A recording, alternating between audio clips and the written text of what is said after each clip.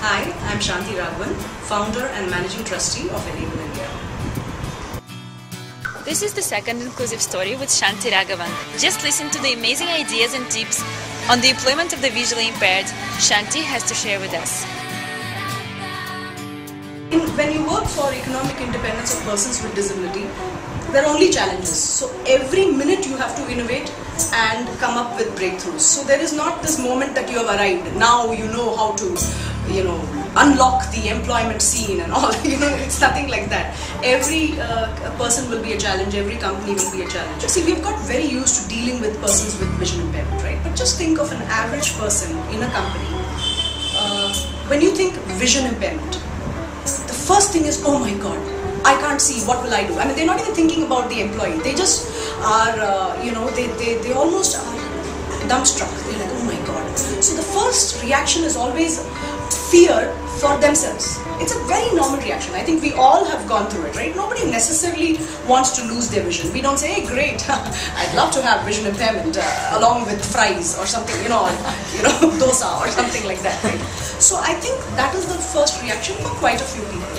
So even in fact, we're not even talking about them becoming employees. When we want to say uh, this job is suitable for a person with vision impairment, uh, can we go ahead and you know look for uh, giving you resumes?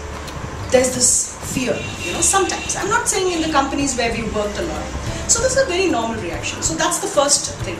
So therefore, anyway, because we give a business case, we tell how a person with vision impairment will work, because we make it very logical, they interview, they like the candidate, they take the person.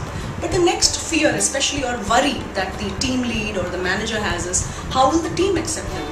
That's a very normal feeling because, uh, you know, uh, hey, uh, this is a completely new person. Anyway, when a new person comes, there are issues usually. But here you have a different kind of person. Will the team accept? Will they work well with each other? Will this visually impaired person work well with the rest of the team? The other uh, worry is that, uh, and I feel that very often this worry makes them not take the person, is will this visually impaired person be dependent on everybody?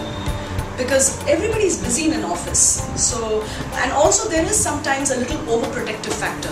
So, very often they don't want to take the person because they're worried oh my god, uh, how will this person come on their own? Now, maybe that visually impaired is completely capable of coming on their own, but that worry is there.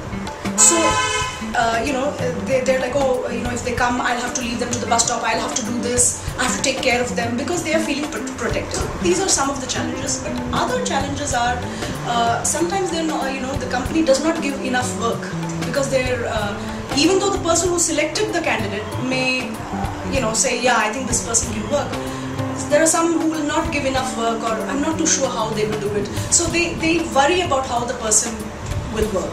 And uh, you know, only when the visually impaired person shows, you know, communicates well or says, hey, I finished this, I did that, hey, anything else, you know, whatever. They they have to take an extra step. That's when the company feels more comfortable, you know. So some of these uh, basic challenges are there, you know, especially with integration. Uh, when you start taking persons with disability or especially persons with vision impairment, you have to start thinking differently. You know, you have to A, learn about different solutions. You have to think out of the box. So A, it starts improving your creativity, right? Second, here's a person who supposedly looks different from you. So what happens is the company first is trying to integrate that person, right? In the process of integrating that person, uh, they actually realize that they should be integrating everybody. Everybody's needs are different. So when you start taking, especially people with vision impairment, and you start thinking, you're more considerate. You're thinking, oh my God, uh, oh when he's in a, when we're doing a presentation, he will, he or she will not know what's the picture there. I must explain it, and you'll find you need to do the same for somebody else, something else, something different. Maybe there's somebody on the phone. He's not visually impaired or she's not visually impaired, but you need to still say, uh, yeah, hi, I don't think you can see my presentation, let me tell you. So overall, when you start having people with disability, you actually are, start becoming more sensitive to each other's needs. And that's a good thing for a company because then the company actually uh, you know, becomes an inclusive organization and believe it or not, according to me, employees don't leave such companies. And in today's age where retention is an issue, I think this is the best way to you know retain your employees because you feel you feel good, right? At the end of the day, you feel good working in such a place. That's all. Advice. You can find more tips, wise words, and amazing stories of the visually impaired at inclusiveplanet.com slash stories.